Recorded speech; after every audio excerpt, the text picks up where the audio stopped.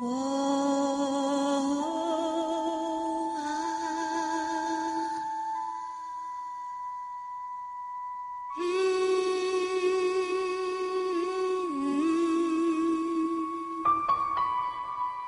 なたが言うように心の底からやりたいことやってると生きる喜びが湧いてきますね。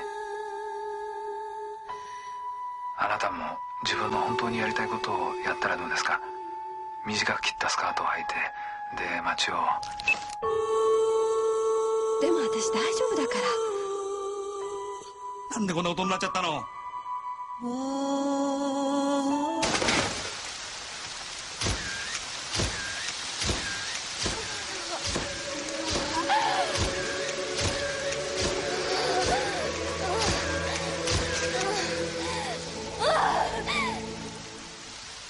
バカ野郎まだ切ってねえのかよ。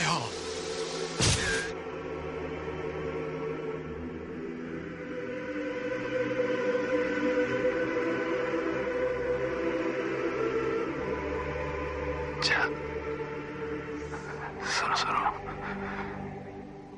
行くわ。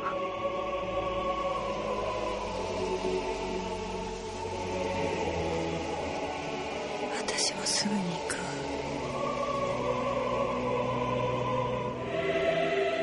一緒に地獄に行きましょう。6月の蛇。